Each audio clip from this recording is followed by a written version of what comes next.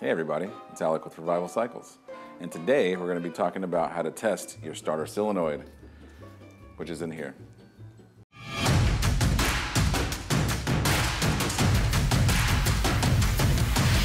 So your bike's not starting. Why isn't it starting? I don't know. We're going to figure that out. Um, there are many reasons why a bike won't start, right? But the first thing you're going to want to make sure of, just like anything else when you're testing things, is make sure that you have a fully charged battery. Sometimes you can chase your tail um, searching for problems when it's just low battery, you know, dead battery, things like that. So first and foremost, check your battery, check your connection. So I will be showing you how to test your starter solenoid with this, a test light. Super simple to use, very effective. You can also use a multimeter, just as effective, but for this purpose and demonstration, I will be using this because it's easier. There are a few things that are telltale signs that you could have a bad starter solenoid. One, you turn the bike on, you hit the start button, nothing happens.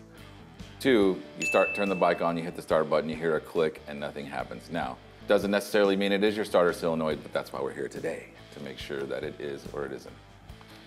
Well, all motorcycles are different, as we know, um, and all starter solenoids are in different locations on your bike, depending on the bike. It could be part of the starter itself, um, it could be on the frame somewhere, it could be under the tank, it could be in the tail section like this one is. So this guy is conveniently, or girl, um, underneath this tail section. Super easy to get to. Make sure you know where yours is first, uh, and then take it from there. The first thing that I usually do is to make sure that you're actually getting battery power to the starter solenoid, right? Because the starter solenoid can't give power unless it has power to give. It's just like life, it's a metaphor, right? This bike is really easy to figure out because since the starter solenoid is so close to the battery, the battery cable is really short, it goes right to it and you can see it right away. So you know that this is supposed to have direct battery voltage to one side of the starter solenoid. Easy to test. I'll show you how right now with your handy test light. To the negative. All right, so we know our battery's good, we know it's got plenty of voltage, and we know where the battery cable is that go to the starter solenoid. So next step is take the cover off, check for power, and we have it. So we know that the starter solenoid is actually getting power, which is good. So that means that it's got power to give. Um, the second test that I do, and of course these are tests just to make sure that the, the starter solenoid is actually getting the information it needs, information, power, to distribute it, right? We're not even to the point yet where we're gonna test the solenoid. So the second thing we're gonna test is we're gonna turn the key on, bike's on, and there is a trigger wire for the starter solenoid. So basically, we're gonna make sure that when we press the button, that the starter solenoid is getting a 12 volt reference to actually kick over the contacts on the inside. And as you can see, it is. So we know that the starter solenoid is getting 12 volts.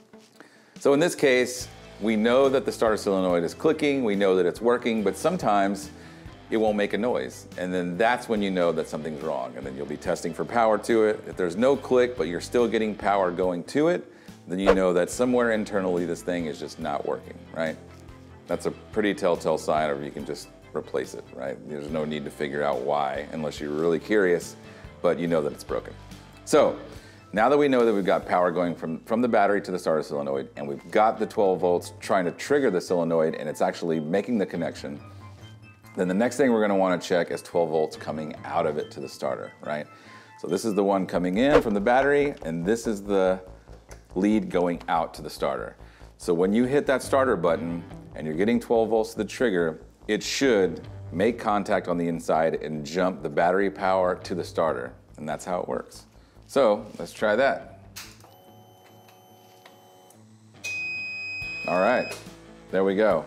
So it's getting 12 volts in, it's getting a trigger, and it's getting 12 volts out. So in this instance, say your bike doesn't start, it's not the starter solenoid. Everything's working properly. Could be the starter itself, could be other things, but that is, that is essentially how you test the starter solenoid. Sometimes I hear that, oh, my bike doesn't start, my starter's broken, my starter solenoid doesn't work. I go to start the bike and it cranks and cranks and cranks and nothing happens. Well, if your bike's cranking and it's turning over when you press the button, your starter's working, your starter solenoid's working. So it's something else completely different. If it's cranking and it's moving, then your starter and your starter solenoid are working. Just keep that in mind. Yeah, I mean, this test is pretty simple. There's not really much to these things. Power in, trigger wire, power out. Sometimes the hardest part of this is finding where the starter solenoid is on your bike and being able to access it in weird spots. Um, but it's really quick, it's really easy. As a recap, if you hit the starter button, you hear a click, you know it's getting 12 volts to it, so you don't necessarily have to check for power going to it. It's just power coming out of it. Uh, if you hit the button and there's no click, then you can start doing these tests to figure out if it is the starter solenoid or if it is the starter, or if it's the button or the wiring in between. Pretty simple. I know that may sound like a lot, but there aren't many components to the starter circuit, so that's how you do it. Thanks for watching. And don't forget, if you need a test light, a multimeter, starter solenoid, battery, any of these things, you can get them right on our website. The link is in the description. Thanks. Now's the time of video where most people ask for money or donations or whatever. I'm not gonna ask you for that. What I'm gonna say to you is, if you wanna see more videos and you wanna learn more of what we've learned, and you wanna see a deep dive into a lot of these topics, go to our website and buy something. We sell everything from motorcycle gear, helmets, uh, motorcycle parts, specialized tools. We sell lots of things, and they've all taken us years to figure out what the best stuff is, and we figured it out. So go to revivalcycles.com. There's some really good stuff there. Everything from like kick-ass hand grips from Posh to Radiance LED lighting and everything in between. We want to teach you what we know, but this stuff takes time and it takes real effort to make these videos and make them good for you guys. So go support us by helping yourself to the cool stuff you already need. And it helps us because we make a little bit of profit and then we can justify doing more videos. Thanks for your support.